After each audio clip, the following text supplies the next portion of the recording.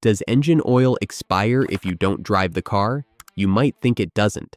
After all, if the car's just sitting there, the oil isn't being used, right?